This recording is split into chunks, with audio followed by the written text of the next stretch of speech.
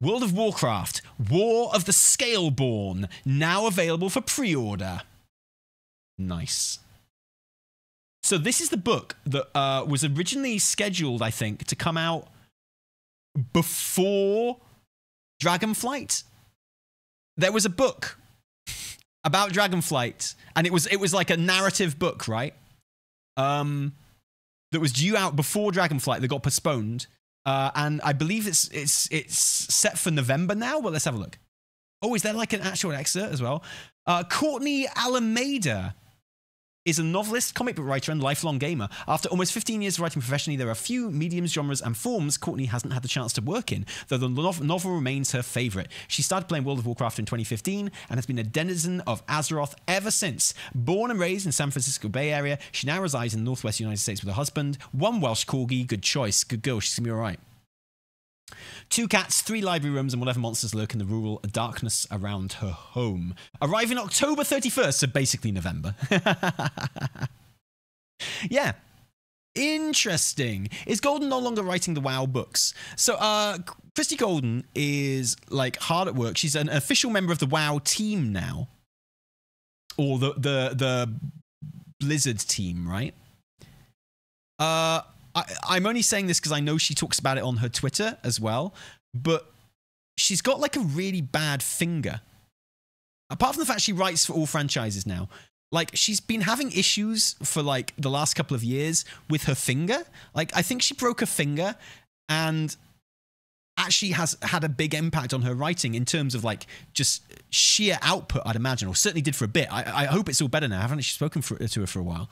Um, but yeah, but I, I don't think that's got anything to do with it. I, I think that's, I don't think that's got anything to do with anything. Um, maybe for a while back there it did.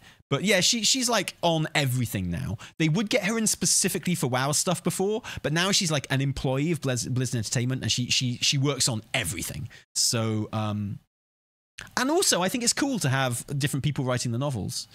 Uh, I thought Shadows Rising was a really good delve into the world of dragons from before the events of World of Warcraft Dragonflight in this exciting prequel. A new light will shine on the story of the War of the Dragons and the impact it's had on the very future of the Dragonflights. When the world was young, all life shook before the might of Galakrond, a massive primal dragon whose hunger could not be sated. Five primal dragons rose valiantly beside the Titan Forge Keeper to combat this threat. Though the fight was desperate, Galakrond fell by their teeth and talons and a massive rock that they stuffed in his mouth. I've got this horrible feeling that Blizz are trying to retcon, soft retcon, the massive boulder that they put in Galakrond's mouth, and I will not stand for that shit. Never forget the massive fucking boulder that they smashed into Galakrond's mouth. Okay? The Titans gifted Nozdormu, Ysera, Alexstrasza, Malygos, and Neltharion with Order magic, transforming them into the aspects, powerful dragons with command of time, nature, life, magic, even the earth itself. Other primal dragons followed them on their path, and imbued with the Titans' power, the dragonflights rose to shape the world and serve the aspects. That is the tale the dragonflights have always told. But it is not the whole story.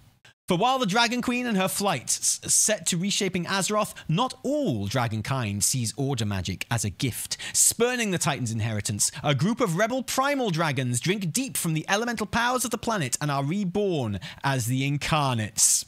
Led by Iridikron, the Incarnates believe that dragonkind should be subservient to no one. They formed a rebellion against the aspects, and they are all, uh, and uh, and they are, and all what they are, and all they stand for. Phew, sorry about that. Despite the efforts of the Dragon Queen Alexstrasza and her primal friend Vyranoth to preserve peace, oh, oh, what have people been saying? What's the common theory in WoW circles before this? Was that Vyranoth might come end up coming onto our side? That's what the community's been saying ever since Vyranoth popped up. Probably just because she's a girl, right? But they're like, got a feeling Vyranoth might end up on our side, right?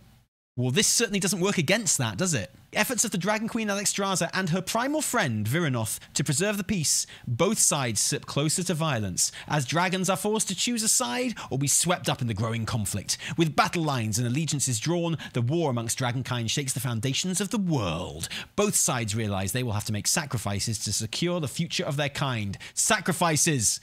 that will cascade through the ages. Sounds awesome. Sounds great. Now, I I don't think this is why the book. This is definitely the book that was originally due to come out before Dragonflight. Definitely, hundred percent. I don't think this is the reason it was postponed. But I'm glad it was because I think it's more interesting to get this book a year into Dragonflight than before Dragonflight.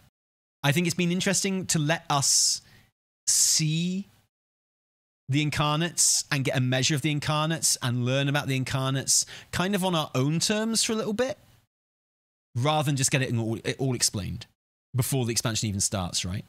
And I think that combats the whole lore in a book, not in the game thing as well. Because now I, I think this this book comes out before the uh, the expansion. And you've got a genuine case where you're like, yeah, I, I, I've just had like this whole new baddies kind of introduced in a book, and now they're the baddies of the expansion. And I totally get that. I would, I would, I would say that would be bad and annoying. And having it come out a year later, where you know we've we've been able to be introduced to the baddies in game, learn a lot about them and the war, and kind of see flashbacks of it, and introduce the characters over the course of like two patches.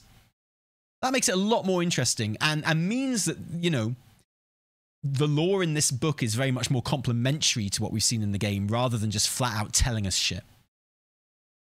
What does drink deep from the elemental powers of the planet mean? Elemental lords? Well, I think so. You know, I think that. I don't see what else it could possibly be with the incarnates apart from the fact that they got empowered by the elemental lords. And therefore, even though this is something no one talks about, the most obvious end game for Iridikron and Vyranoth is that they want to release the elemental lords from the elemental plane. That would be the most obvious super objective for Iridikron. No one talks about it because I'm pretty sure no one wants it to happen. I'm literally, I'm, I'm sure the reason people don't talk about this is not because no one's thought of it, but because it's like I just don't want, I just don't want that to happen. So I'm not going to talk about it. Uh, so Alexstrasza is going to do something in the past that Vyranoth is going to view as absolutely traitorous and have to be locked up. Then 10,000 years later, they kiss and make up over the misunderstanding. I don't think Vyranoth will end up on our side. I've said this before. I think Vyranoth is clearly being set up as the most sympathetic one. You know, Sylvanas got a very sympathetic reading in the Sylvanas book in Shadowlands, right? And she didn't end up on our side. Well, she kind of did, but not really. I think Vyranoth is going to be very much more a, an Azshara style character, right? Where it's like, all right, I admit I might have been wrong. Okay. I will now stop trying to kill you, but just so you know, we're not friends still. You know? This thing where she's not like kind of explicitly and specifically an antagonist, but you know, she she's not our friend, like, you know? And you know, it, it doesn't mean that it sounds like a redemption arc, doesn't it? It sounds like a redemption arc. I bet we read about what happened in that huge tower in the Azure Span in this book. Ah, I bet you we do. I bet you we do. Yeah, yeah, totally. I bet you we do. And that art is incredible. And the art is uh, Vyranoth and Alexstrasza as well, isn't it? Yeah, like, I feel like the book will be telling the story of Vyranoth, uh, Iridikron, like, working behind the scenes to subtly manipulate Vyranoth and kind of keep things from her, to keep her on side. Seems likely, doesn't it? Yeah, amazing art. I love it. So good.